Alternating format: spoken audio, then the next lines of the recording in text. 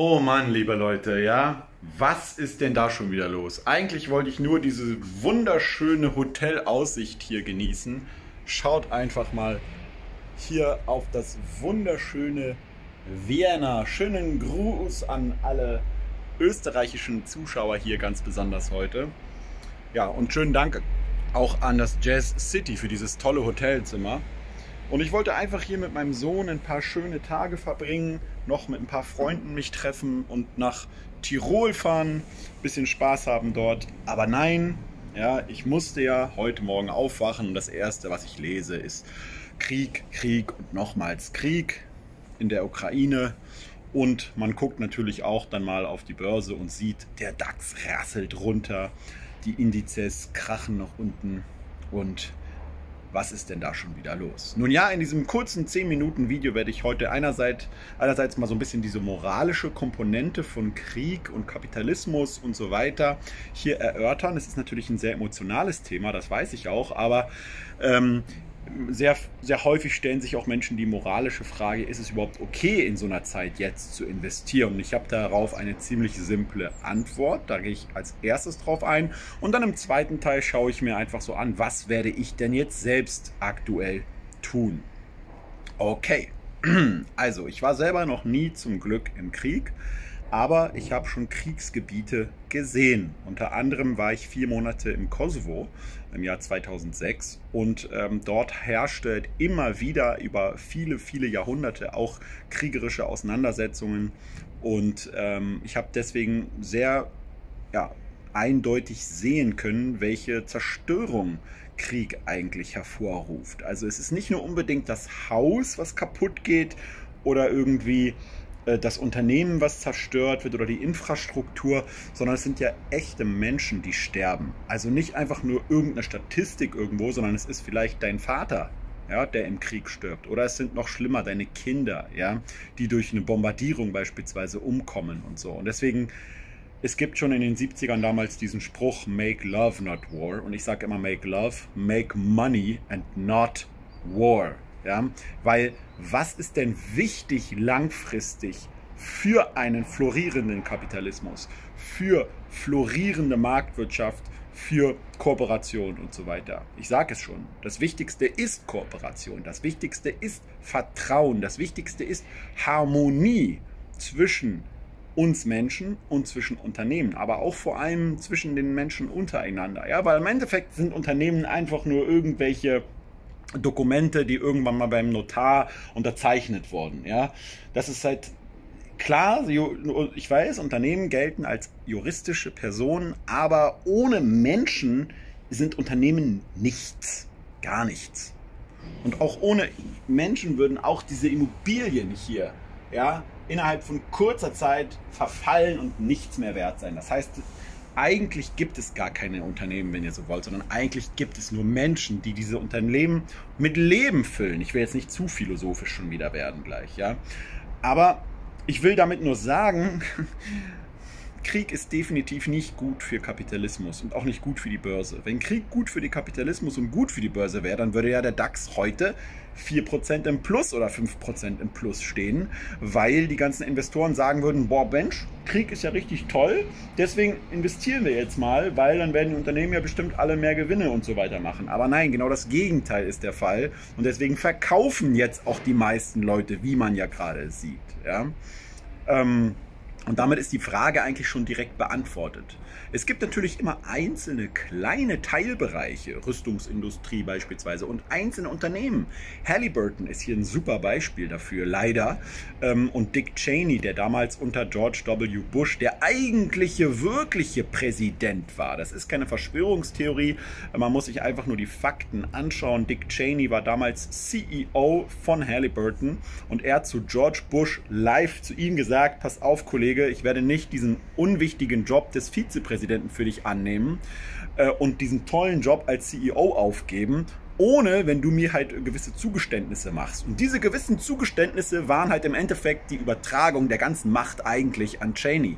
Und dann hat Cheney halt viele Aufträge der der Regierung und so weiter an Halliburton vergeben. Ja, und sowas gibt es natürlich auch. Und das ist Korruption par excellence und das ist natürlich höchst, im höchsten Maße verwerflich. Aber nur weil es einzelne Unternehmen und einzelne Teilbereiche geben mag, die von Krieg profitieren, ist es gesamtwirtschaftlich natürlich komplett schlecht für die Menschheit, weil eben nicht nur nicht nur äh, das Haus zerstört wird, nicht nur die Wirtschaft, die Infrastruktur und so weiter und die Telekommunikation und all diese ganzen Sachen kaputt gehen und so, sondern weil eben auch der menschliche Esprit verloren geht im Krieg und weil das menschliche Vertrauen ineinander kaputt geht und in andere Länder kaputt geht. Ja? Einzelne Gruppen kann der Krieg auch zusammenbringen und zusammenhalten, aber zu anderen Ländern und zu, zumindest zu den anderen Kriegsparteien ist, ist, Krieg definitiv nicht gut für eine florierende Marktwirtschaft. Ja, lasst euch das niemals irgendwie einreden. Und deswegen können wir auch davon überleiten, ist es auch jetzt nicht moralisch verwerflich, ähm, an der Börse zu investieren. Ja? Wir sind jetzt keine gierigen Investoren, die irgendwie jetzt nach der schnellen Rendite oder so irgendwie schielen oder so. Ja? Im Gegenteil, ich gucke mir meine ganzen Depots an. Ich habe dieses Firmendepot, was ihr kennt. Ja? Ähm, ich habe aber daneben noch viele andere Depots. Ich habe vier, fünf verschiedene Depots mittlerweile und auch andere Vermögenswerte. Und wenn ich jetzt die letzten zwei Monate, nicht nur seit, seit heute oder seit den letzten Tagen, wenn ich die letzten zwei Monate betrachte, habe ich Verluste, die in die 100 Tausende Euros gehen. Ich profitiere gerade nicht von diesem Krieg. Ich verliere davon. Ja? Aber Les Brown hat immer gesagt, könnt ihr bei YouTube mal eingeben, Les Brown, L-E-S und dann Brown hat immer gesagt, the difference between eyesight and mindsight. Eyesight is what we see. Eyesight ist das, was wir gerade jetzt sehen. Hysterie, Krieg, Bedrohung, Mord, Propaganda. Das Erste, was im Krieg verloren geht, ist die Wahrheit. Ja? Und Mindset ist das, was wir uns vorstellen können, was danach wieder entstehen kann. Okay? Weil die Börsenhistorie zeigt es auch, dass durch die kriegerischen Auseinandersetzungen, sogar durch den Zweiten Weltkrieg hindurch, dann irgendwann wieder die Marktwirtschaft und die Welt sich erholt hat. Und das ist auch die einzige Möglichkeit, wie man sich erholen kann. Durch Kooperation und durch eben wieder mehr Unternehmertum, durch mehr Kooperation, durch mehr Vertrauen, dass dieses Vertrauen wieder entsteht. Ja, das kann im Krieg nicht entstehen, da entsteht nur Misstrauen, okay?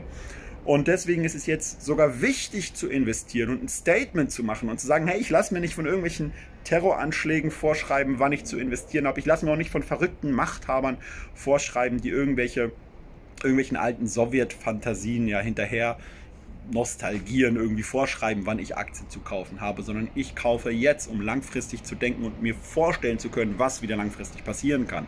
Welche Aktien sind das denn? Na, alle. Eigentlich alle. Guckt euch einfach eure Watchlisten an. Bei mir ist das natürlich ganz klar eine Tesla, die fällt. Die ist gestern auch schon gefallen, wegen SEC wieder und Elon Musk und so das ist so kurzfristig alles. Tesla wird langfristig weiter wachsen. Natürlich könnte auch Tesla jetzt durch diese Auseinandersetzungen, wenn der Krieg sogar noch sich breiter ausbreitet und so, natürlich kriegen dann Unternehmen durch Supply Chain Probleme vielleicht oder politische Spannungen irgendwelche Risiken und es kann auch mal ein paar Quartale weniger Wachstum geben, ja, und dann fallen die Aktien eben ein bisschen. Aber was kann man sich langfristig wieder vorstellen, wenn diese Probleme wieder beiseite geschafft werden, ja? Und wenn man in diesen Monaten, manchmal sogar Jahren der BES und des Bärenmarktes die Stückzahlen nach und nach erhöht, die man äh, kauft. Ja? Damals der Aristoteles Ionassis aus, den, aus Griechenland, ja, dem man natürlich auch so das ein oder andere an unmorale, unmoralischen Sachen nachsagen kann, wenn man lange genug sucht, ja. Aber der hat auch damals in der Krise viele Reedereien und viele Schiffe gekauft und die sind dann später viel wertvoller geworden. Ja? Das heißt, die Vorstellungskraft, die sollte man jetzt besitzen. Und wenn man jetzt immer noch sagt, kaufen, wenn die Kanonen donnern, aber nicht jetzt, weil ausgerechnet dieses Mal ist alles anders, ich weiß ja nicht. Also immer in der Theorie der Beste sein und dann in der Praxis den Schwanz einziehen, wenn es halt mal wirklich gute Kurse gibt zum Kaufen. Keine Ahnung. Also ich, ich kaufe definitiv jetzt Aktien. Tesla ist die erste, die ich sofort jetzt nachkaufe. Es gibt auch andere im Depot, die ich leider nicht genug Geld habe jetzt zu investieren, weil überall ja meine Vermögenswerte gerade weniger wert sind. Und ich sage es euch immer ganz ehrlich frei heraus, Leute. Ja, man braucht hier nicht den dicken Macker machen, immer nur wenn es gut läuft und sagen auf, ey, easy, Rendite und ich bin der tollste und beste Hecht. Und sobald die Verluste da sind, zieht man den Schwanz ein und fängt an, so richtig rum zu mimin und löscht seine Videos und all diesen ganzen Quatsch, ja. Ähm, Verluste gehören dazu. Und da bleibe ich einfach langfristig bei. Was ich nicht mache, ist, dass ich alles auf einmal investiere, sondern dass ich halt einfach die erste Tranche jetzt investiere und wenn es noch weiter runtergehen soll, weil das wissen wir nicht. Auch im Corona-Crash haben viele Leute gesagt, als ich so ein ähnliches Video hochgeladen habe, ey, das ist viel zu früh, es kann, es kann noch viel weiter runtergehen. Ja, kann es, kann es auch jetzt natürlich noch, aber es kann sich auch sehr schnell dann wieder erholen, ja, weil sehr häufig, auch wenn eine kriegerische Auseinandersetzung noch andauern mag, kann trotzdem die Börse schon zwischendurch sich wieder verbessern. Das hat man im Zweiten Weltkrieg beispielsweise auch gesehen. Ja? Und von daher ist es immer gar nicht so schwer, perfekt abzutimen und muss man auch nicht. Aber wenn die nächste Verlustwelle kommt, dann werde ich potenziell sogar die ersten Reserven anfangen locker zu machen. Zum Beispiel aus Bondora Go and Grow oder aus anderen Quellen eben Reserven an, rauszunehmen und eben an die Börse noch zu investieren, weil ich eben nicht in den aktuellen Kursen denke, sondern in den Stückzahlen der ganzen Aktienanteile an Unternehmen, die dann wieder im Frieden auch profitieren und florieren werden. Ja. Das ist mein Vorgehen. Kein Hokuspokus, keine irgendwie abgefahrenen Charttheorien und keine, keine irgendwie äh, hundertseitige wissenschaftliche Analyse, sondern einfach nur die, die Vorgabe eines normalen Privatanlegers, der das macht, was er halt eben ja, kann. Ja, nämlich die Vermutungen machen, Abschätzungen zu treffen und dann einfach nach bestem Gewissen äh, zu investieren. Und was langfristig herauskommt, äh, ist, dass man immer wieder sieht, das habe ich in allen Korrekturen, die ich bisher seit 2009 mitgemacht habe, immer wieder gesehen, ist, dass ich temporär massiv in Verlust kommen kann, dass ich, wenn ich aber da weiter einfach drin bleibe und weiter nachkaufe, danach wieder die nächsten Hochs kommen, ja. Und dann können wir uns wieder zuprosten, ja. Okay, das war's. Also wer jetzt nicht investiert, ist selber schuld. Ist natürlich nur meine persönliche Meinung, keine allgemeine Empfehlung. Aber ich weiß auf jeden Fall, wenn du Aktien kaufen möchtest und noch kein Depot hast, kannst du gerne mal hier unten beim Smart Broker vorbeischauen oder auch bei anderen ähm, ja, Depots, die ich unten dir gerne verlinke. Denn das brauchst du natürlich immer, wenn du Aktien kaufen möchtest. Ja, und ansonsten bleibt mir nichts anderes zu sagen, als dass wenigstens das Wetter schön ist hier in Wien und dass wenigstens hier gerade kein Krieg ist. Und ich, ja, ich denke mit, mit wirklich Trauer an unschuldige Menschen, die einfach wegen solchen verrückten Leuten äh, sterben müssen. Ja? Ich, bin, ich bin der erste Mensch, der für einen wirklich guten Sinn, für einen guten Zweck tatsächlich sofort mich als Reservist wieder äh, zur Bundeswehr rufen lassen würde und, und, und äh, Deutschland verteidigen würde mit allem, was ich habe. Ja? Mit, mit allem, was ich habe. Wenn, wenn irgendwie Deutschland angegriffen wird, unnötigerweise durch, durch äh, sowas wie jetzt. Ja. Aber ähm, die Situation jetzt irgendwie zu verstehen und irgendwie, äh, und irgendwie dazu überlegen, das ist schon absurd, muss man fast sagen. Weil, weil im Endeffekt ist es nur, sind es nur so einige wenige Verrückte, die, die ihre Macht nicht mehr unter Kontrolle haben, wo es keine Checks and Balances einfach mehr gibt die ist einfach, kann man sagen, House of Cards aus dem Playbuch. Ja? Du hast innenpolitisch nicht mehr viel erreicht. Dein Land geht sozusagen, äh, floriert nicht wirklich. Und dann musst du halt ablenken. Und äh, die eigene Bevölkerung will es eigentlich noch nicht mal, größtenteils. Ja? Also es ist einfach nur ein Witz, wenn ihr mich fragt. Ja. Okay, aber egal, ich will jetzt nicht zu viel rumlabern. Ich wollte das Video kurz halten. Jetzt sind wir schon bei 13 Minuten. Deswegen, das war's für mich heute. Wir sehen uns. Ciao, ciao.